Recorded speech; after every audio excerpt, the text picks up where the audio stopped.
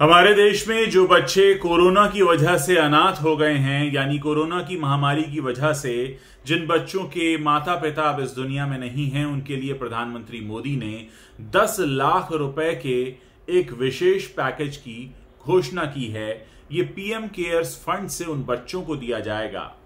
और सबसे बड़ी बात यह है कि उन सारे बच्चों की स्कूली शिक्षा, कॉलेज शिक्षा और उनके सेटल होने तक ये पैसा उन्हें दिया जाएगा। इस ऐलान के साथ ये कहा गया है कि 18 साल की उम्र तक ऐसे बच्चों को हर महीने आर्थिक मदद दी जाएगी और 23 साल की उम्र पूरी करने पर उन्हें पीएम केयर्स फंड से 10 लाख रुपए एक साथ दिए जाएँगे। सरकार ने ऐसे बच्चों की पढ़ाई के लिए भी दो घोषणाएँ की हैं। उनकी पढ़ाई का खर्च सरकार उठाएगी और हायर एजुकेशन के लिए अगर लोन लिया है तो उसमें भी राहत दी जाएगी। लोन का ब्याज सरकार पीएम केयर्स फंड से देगी, साथ ही आयुष्मान भारत योजना के तहत पाँच लाख रुपए तक का उन्हें स्वास्थ्य बीमा भी दिया जाएगा, और इसका प्रीमियम भी पीएम केयर्स फंड से दिया जाएगा। एक जो इस योजना की खास बातें हैं, मैं आपको इस वीडियो में बता रहा हूँ। बच्चों के नाम फिक्स डिपॉजिट रहेगा पीएम केयर्स फंड से ऐसे हर बच्चे के लिए एक कोष बनेगा, इसमें 10 लाख रुपए जमा किए जाएँगे। इसके ज़रिए 18 साल की उम्र होने तक बच्चे हर महीने एक तय राशि मदद के तौर पर हर महीने प्राप्त करेंगे। और 23 साल जैसे ही उनकी उम्र 23 साल पूरी हो जाएगी, ये पूरी एक मुश्त रकम उन्हें दे दी जाएगी। स्कूली पढ़ाई की अगर बात करें तो 10 साल से कम उम्र के बच्चों को नजदीकी केंद्रीय विद्यालय या प्राइवेट स्कूल में डे स्कॉलर के रूप में एडमिशन दिया जाएगा। अगर बच्चे का एडमिशन किसी निजी स्कूल में होता है तो पीएम केयर्स फंड से राइट टू एजुकेशन के नियमों का पालन करते हुए उसकी फ़ीस दी जाएगी। उनकी स्कूल ड्रेस किताबों और नोटबुक पर होने वाले खर्च का भुगतान भी किया जाएगा।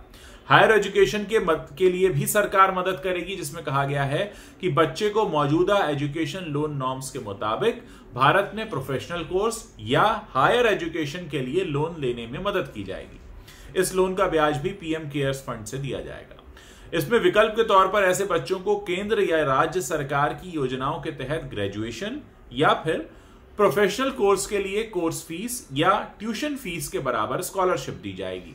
जो बच्चे मौजूदा स्कॉलरशिप स्कीम के तहत एलिजिबल नहीं हैं, उन्हें पीएम केयर्स फंड की तरफ़ से एक स्कॉलरशिप भी दी जाएगी। सभी बच्चों को आयुष्मान भारत योजना के तहत लाभार्थी मानना माना जाएगा। उन्हें पाँच लाख रुपए का हेल्थ बीमा कवर भी मिलेगा। यानी अगर उनकी तबीयत खराब होती है तो उन्हें पाँच लाख रुपए तक का इलाज कराने के पैसे दिए जाएँगे। और 18 साल तक की उम्र पूरे होने तक इन बच्चों की प्रीमियम राशि का भुगतान पीएम केयर्स फंड की तरफ़ से किया जाएगा। ये कुछ महत्वपूर्ण सूचनाएँ हैं जो हमारा और आपका जानना बहुत ज़रूरी है। मैं बात यहाँ इसलिए कह रहा हूँ कि बदकिस्मती से जो बच्चे अनाथ हुए हैं, उनके बारे में फिक्रमंद होना ये अब हमारा कर्तव्य है। आपके पड़ोस में, आपके रिश्तेदारों के बीच, आपके दोस्तों के बीच, आपके शहर, मोहल्ले, पड़ोस में ऐसे बच्चे हो सकते हैं। ये जानकारी मैंने अपने प्लेटफॉर्म पर इसीलिए दी है ताकि आप अब अपनी तरफ़ से कोशिश करें और पता लगाएँ कि आपकी जानकारी में ऐसे बच्चे कहाँ हैं, क्या कर रहे हैं, क्या उन्हें किस तरह की ज़रूरत है और इस स्कीम को अब जब आप जान गए तो उसके बारे में ज़्यादा से ज़्यादा बात करिए, लोगों को बताइए, ताकि जो बच्चे अनाथ हुए हैं, जिन्हें वाकई इस स्कीम की ज़रूरत है, उन तक ये मदद पहुँचे। क्योंकि सरकार ऐलान करती है, लेकिन कई बार वो ऐलान सही कानों तक नहीं पहुँचते।